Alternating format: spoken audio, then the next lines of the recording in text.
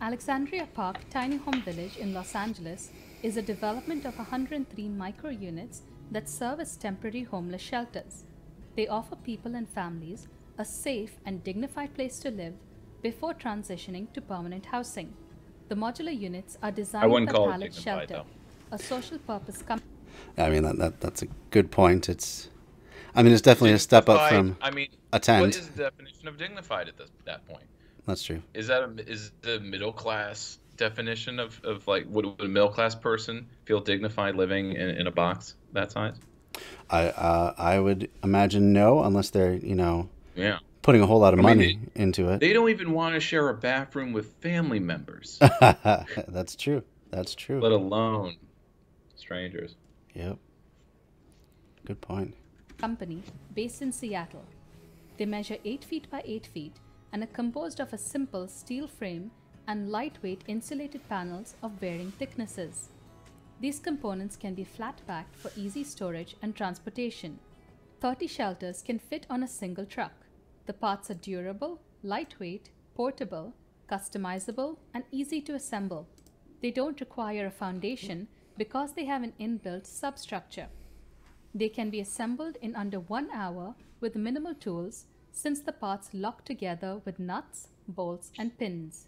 The units can withstand winds of up to 110 miles per hour, snow loads of up to 25 pounds per square foot, and temperatures as low as minus 40 degrees Fahrenheit. These units can be connected to the city's power grid, a generator, or solar panels. The interiors are utilitarian but purposeful. They can sleep two people and hold their belongings under the bed and on a shelving unit. Each unit has a smoke detector, carbon monoxide monitor, egress door, and a fire extinguisher. These temporary shelters can be quickly deployed to a site in case of emergencies. Most people and families live in these units for three months before moving on to permanent housing.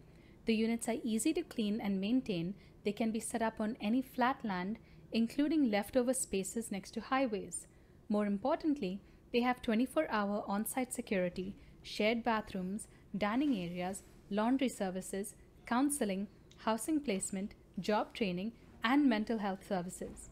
I find it very impressive that Pallet Shelter, the company that designed these units, asked the homeless for their input during the design process. Moreover, all employees who built these shelters are formerly homeless, addicted, or incarcerated themselves and have found stability through meaningful employment. The flat pack nature of these units is very important because the more you can transport on a single journey, the lower your costs are going to be. One of the many hurdles of This is a little joke about circular economy. You know, we will will solve the unemployment crisis by um, employing people to solve the unemployment crisis. Mhm. Kind of thing. Yeah. we'll solve we'll solve homelessness by employing the homeless. Yeah. um, but uh, this is, but there's there's there's similar, but but that's a very cynical take. So Mhm. not don't take it don't take it home with you. Okay. using shipping containers as emergency or temporary housing is their size and weight. These units remind me of the bare bones utilitarian emergency hospitals that popped up in China last year. Hope of the Valley, one of the organizations behind this project, regularly receives criticism about their efforts to help the homeless. To help the community fully support and understand these projects, they offered a tiny home sleepover experience back in April. You could stay at the site overnight, enjoy a dinner, live Oh, music, comedian, and breakfast. One of their sleepovers was catered to business owners and community leaders, while the other sleepover was designed for couples and partners, what they called the ultimate date night. It's an interesting approach to community engagement. While I appreciate all the work that they do, there are some drawbacks in this project. The gaudy, childish colors are a questionable design decision. I'm sure the architects chose to do that. When a person is in such a tough, challenging situation in life, the last thing they want is for their shelter to stand out and attract attention. They want to fit in, but these colors do just the opposite. Humans also need a sense of ownership, a feeling that something is theirs. It might be beneficial for them to work on their housing unit, build it themselves, or engage in community projects, even if it's for a short period of time.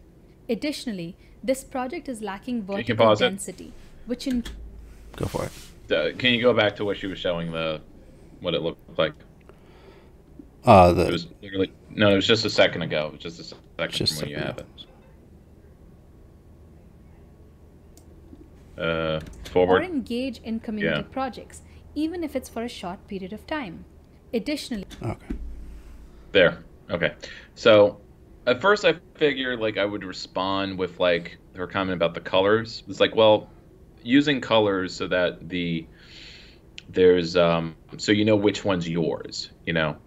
But obviously looking at this picture, that's not the case. Like it's like which one is yours? Oh, it's the fourth one away from that red one. Yeah. I mean, if they were alternating colors, hmm at least you'd know like, oh, it's the fourth one. It's but it's a white one. Sure. Um, but yeah, solid colors are you know very gaudy. Yeah. Um, and but also kind of suggesting that the needy need to build their own shed. uh-huh. Um, do we ask that of any potential homeowner?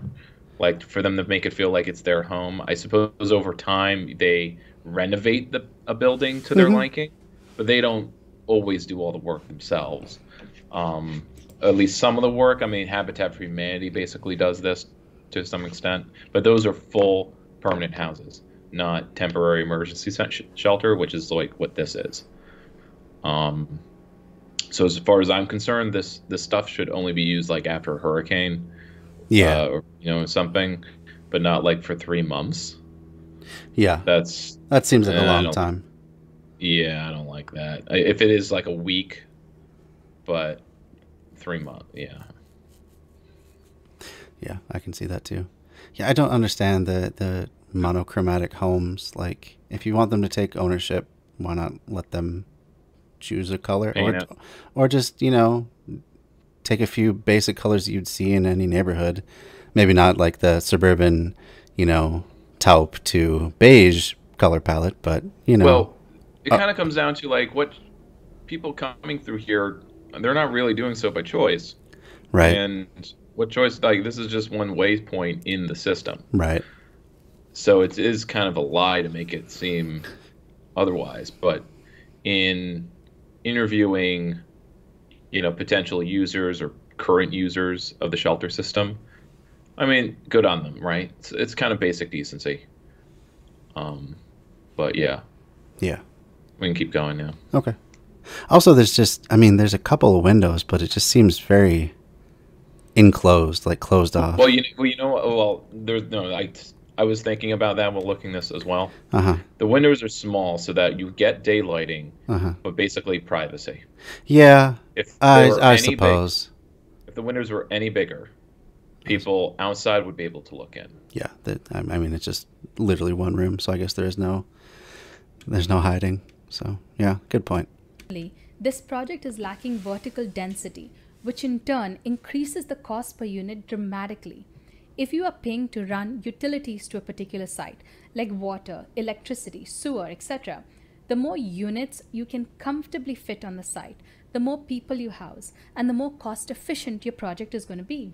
Hope of the Valley claims that, unlike traditional shelter or affordable housing projects, tiny homes take a fraction of the time to build and assemble and are just a fraction of the cost. The Alexandria Park tiny home complex cost $8.6 Here million to build. At 103 units with two beds per unit, that's about $42,000 per bed. The cost to operate the campsite is $3,300 That's per assuming each of them have month. two beds in them. Right. Yeah, But, which they might not all. Yeah, they, they shouldn't. I mean, I can't imagine unless it's a cou- actual couple or mother and kid. Right. But yeah, Yeah, yeah. They wouldn't. I hope they're not just throwing strangers together to, to bunk together. That would be bad. it's too small. I mean, it's a closet. Right. and that's kind of the the true like couldn't they just add another hundred dollars to the cost and make it you know add another five feet Mhm. wider Yeah. thing Yeah. um it's not like why do they have to be mic like these little tiny houses they're the size of the, they're smaller than the bedrooms at the SRO I worked at hmm because at least that there was a bedroom and a closet. Right. Yeah, I mean, even my college dorm room was was similar in size, but it too had a closet Now, with space. now the SRO was a renovated warehouse building uh-huh. um, with full interior walls put in and all that, Mhm. uh, with a courtyard. And so a lot of the windows go out to the courtyard, but then of course, if you know the guys are smoking, making noise in the courtyard, it, it would make it hard to sleep. Um, that's we try to enforce quiet hours and stuff, but some guys want to sleep in the morning, but Mhm. whatever. Different story. For sure. All right. Well, let's continue on. These tiny homes cost more than the monthly mortgage payment for a median sized LA home. What's going on? The units themselves are relatively cheap. LA is paying pallet shelter about 8600 per unit. Land acquisition is only about 11% of the budget. Initial site work costs $1.5 million. Underground utilities cost $122,000. Concrete foundations cost $253,000. The office and staff rooms cost $312,000. Mechanical, electrical, and fire alarms cost $1.1 million. Permits, fees, designs, project management, and inspections cost $626,000. The rest goes to soft costs, including consultants and financing. There you go. The overspending on this project is not an isolated case. In Los Angeles, voters approved a $1.2 billion bond in 2016 for building housing for the homeless. Proposition Triple H was supposed to have moved 10,000 homeless people off the streets and into new housing. Delays and bloated budgets have reduced the 10,000 person goal down to 7,300 persons. According to Mayor Eric Garcetti's website, only 14 of the 111 total projects are in service. 804 out of 7,300 people have been housed. The average cost of homeless shelters in California is now $700 per square foot, as much as luxury housing. Something is terribly wrong. I'm not being heartless by critiquing the situation. We should help people that have fallen on hard times and assist them in taking care of themselves. But as tax paying citizens, we have a right to be concerned about the misuse of tax dollars. These bloated projects are supported by local, state, and federal funding. If funds are being misused, we can't just dismiss public outrage and we can't be afraid to raise questions. Frustrated Californians believe that the local and state government must be held responsible for their failure to complete projects on time and within a reasonable budget. Props to Pallet Shelter for creating these sturdy, reliable, Okay, you can stop the video. $8,600 That- pretty and for it. all the community work So, just, just I'll get this out, and then you can have a floor. Sure. This kind of goes to how we can't really solve these problems under within capitalist policy. Mhm. Like we can st- we can have all this public spending to build homeless housing or homeless like housing, Mhm. and because it's in capitalism, like you saw, like a third of the cost was in the financing and consultants and other capitalist bullshit. Yeah. Um, not to mention what raises like why would the foundations just alone cost a quarter million? Or why would smoke alarms and utility like a million and a half for that, a million for this, a million just for the caught for the land? Mhm. Um, but if it was if it was just the land, the utilities, and the tiny homes, it would be maybe three million dollars, but or two instead of eight, eight and a half. It's it's all inflated from the construction industry, and I was kind of covering this in my urbanism episode. That the regulations and all the rules that need to be followed, whether it's building codes, zoning codes, whatever, they're written maybe by nonprofits, but the nonprofits are funded and uh, pretty much owned by the construction real estate industries. They're writing the rules to make it expensive for you, the home buyer or or tenant, um, to exploit you, to Hmm. make the costs as high as possible. um, because they know whether it's even if it's a homeless shelter, it's going to be with public money, and then they can basically charge whatever they want. Um, and we, whether it's a taxpayer or individually, have to pay it hmm uh, because it's an inflexible demand. True. So what, what, what, what's your takeaway from uh, the information uh, um, supplied here? Oh boy, I mean, definitely, it's it's it's certainly a step up from having people just uh, live in garbage and tents, and it's definitely gonna be more secure. So, in a certain sense, even though it's it's uh, a super inflated price, I guess it's better than nothing. I just wonder how this could be done otherwise. Yeah, I mean it. Like she said, it was the, it's the cost. It's the same cost of a middle class house Right. That just doesn't per month. And doesn't make sense. It doesn't make sense. why not just Section Eight? Give everyone their Section Eight. Right. Um, there was there was another instance of this with one of the Catholic charities in Albany that per person they're given up to nine hundred dollars to pay rent. That means there are these slumlords, maybe the, the few people that will accept the payment like rent from a nonprofit because otherwise they require you to have this kind of job Yeah. or this kind of regular income for for the for the lease. You know, you, you have Right. to prove that you get it paid every month for the next year. Right. Something you can never really guarantee, but uh, it's depending on the job. But they'll charge nine hundred dollars, Mhm. you know, per month because that's what they get from the agency hmm or uh, or Section Eight guarantees this much of a payment. So uh, it's meant it's meant to be like up to nine hundred dollars, right? Right. But yeah, but there, there's this one nonprofit guy who who actually like couched it that way, where it's like, oh, we, we could get nine hundred dollars per unit if we fix up three units, because uh, we'll we'll we'll rent them to refugees, and they get nine hundred dollars a month for housing costs. I'm like, that sounds real exploitative, man.